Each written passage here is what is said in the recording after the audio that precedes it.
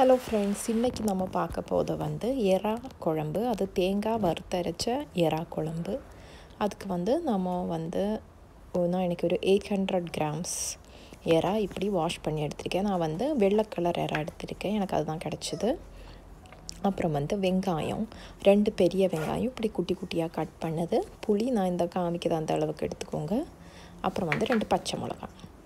தக்காளி வந்து ஒரு பெரிய தக்காளி நறுக்குனது. ஒரு முருங்கைக்காய்.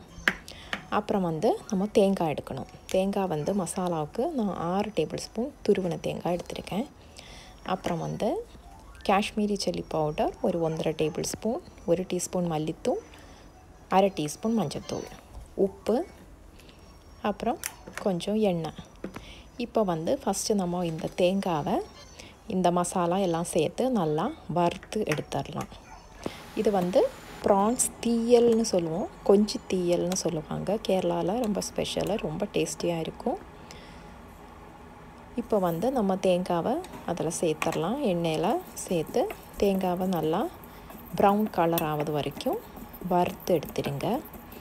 அது கலர் சேஞ்ச் ஆகி வரும்போது வந்து நம்ம இந்த மசாலா எல்லாம் அதில் சேர்த்துடலாம் இப்போ கலர் சேஞ்ச் ஆகிடுச்சு நான் இப்போ இந்த மசாலாலாம் அதில் போட போகிறேன் மசாலாலாம் போட்டு அந்த மசாலாவையும் இந்த பச்சை ஸ்மெல் போகிறது வரைக்கும் நல்லா வறுத்தெடுக்கணும் இந்த தீயல் வந்து ரொம்ப டேஸ்டியாக இருக்குங்க. முருங்கைக்காய் போட்டு நம்ம செய்யது நம்ம சாப்பாடு கூட சாப்பிட ரொம்ப அருமையாக இருக்கும். நீங்கள் கண்டிப்பாக எல்லோரும் ட்ரை பண்ணி பாருங்கள் இது ரொம்ப ஈஸி தான் பண்ணதுக்கு இந்த எறா குழம்பு. இப்போ இந்த பச்சை மசாலா வாடையெல்லாம் போகிற வரைக்கும் நல்லா இதை வறுத்து எடுத்துருங்க. இப்போ வந்து மசாலா நல்லா ஸ்மெல் வருது. தேங்காயெலாம் நல்லா ரோஸ்டான ஸ்மெல் வருது.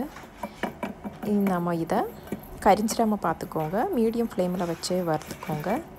இனி இப்போ நம்ம இதை இது சூடு ஆறுனதுக்கப்புறம் மிக்சியில் போட்டு கொஞ்சமாக தண்ணி ஊற்றி இந்த மசாலாவை நல்லா மையாக அரைச்சி எடுத்துடணும். இதிலே வந்து புளியும் நீங்கள் ஆட் பண்ணிக்கலாம். புளி புளி கொஞ்சம் வதங்கினா அது அரைக்கிறதுக்கு ரொம்ப ஈஸியாக இருக்கும். அதனால் புளியும் சேர்த்துக்கோங்க. இப்போ வந்து நான் இதை மிக்சி ஜாரில் மாற்ற போகிறேன் இப்போ இதை அரைச்சிட்டு நான் உங்களுக்கு காட்டுறேன். எப்படி அரை எப்படி இருக்குன்னு நான் அரைக்க போகிறேன் கொஞ்சமாக தண்ணி ஊற்றி தான் நல்லா மையாக அரைச்சி எடுத்துட்டேன். அவ்வளோதான் இப்போ வந்து நம்ம குழம்பு செய்யறதுக்கு ஆரம்பிச்சிடலாம். குழம்பு செய்யறதுக்கு ஒரு கடாய் ஹீட் பண்ணிக்கோங்க. கடாய் ஹீட் பண்ணிவிட்டு அதில் வந்து கொஞ்சமாக எண்ணெய் ஊற்றிக்கோங்க எண்ணெய் ஊற்றிட்டு எண்ணெய் கொஞ்சம் சூடானதும் அதில் நம்ம வெங்காயம் போட்டு நல்லா வதக்கிடலாம் வெங்காயத்தை. சின்ன வெங்காயம் போட்டால் இன்னும் ரொம்ப டேஸ்ட்டாக இருக்கும் குழம்பு. எனக்கு சின்ன வெங்காயம் கிடைக்கல. அதனால தான் நான் பெரிய வெங்காயம் யூஸ் பண்ணுறேன். சின்ன வெங்காயம் கிடச்சா நீங்கள் சின்ன வெங்காயமே போட்டுக்கோங்க. கொஞ்சமாக கடுகு போட்டுக்கலாம். கடுகு போட்டு கடுகு பொரிஞ்சதும் நம்ம வந்து வெங்காயம் சேர்த்துக்கலாம். வெங்காயம் ரெண்டு பச்சை மிளகாய் இதை சேர்த்து இதையும் நல்லா வதக்கிடுங்க.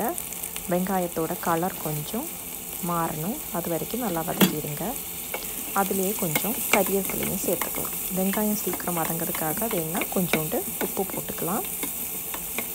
இப்போ வெங்காயம்லாம் நல்லா வதங்கிட்டு இருக்குது இது வந்து ரொம்ப பொன்னிறமாக வதங்கணும்னு இல்லை கொஞ்சம் வதங்கினா போதும். இப்போ வெங்காயம் நல்லா வதங்கிடுச்சு. இப்போ இதில் வந்து நம்ம தக்காளி முருங்கைக்காய் சேர்த்துடலாம் சேர்த்துட்டு நம்ம அரைச்சி வச்சுருக்கிற அரைப்பு இருக்குல்ல அதையும் சேர்த்துருங்க. இப்போ நீங்கள் புளி பார்த்துட்டு புளி இல்லைன்னா நீங்கள் வேணால் எக்ஸ்ட்ரா கொஞ்சம் புளி சேர்த்துக்கலாம். இதில் நம்ம ஃபஸ்ட்டு ஆட் பண்ண புளியை விட உங்களுக்கு புளி தேவைன்னா புளி நிறையா ஊற்றக்கூடாது இதுக்கு கொஞ்சமாக தான் சேர்க்கணும். இப்போ உப்பெல்லாம் போட்டு இந்த மசாலா நல்லா கொதித்ததுக்கப்புறம் நான் புளி செக் பண்ணேன். எனக்கு புளி கம்மியாக இருந்ததுனால நான் கொஞ்சோண்டு புளி எக்ஸ்ட்ரா ஆட் பண்ணியிருக்கேன் புளி தண்ணி. இப்போ வந்து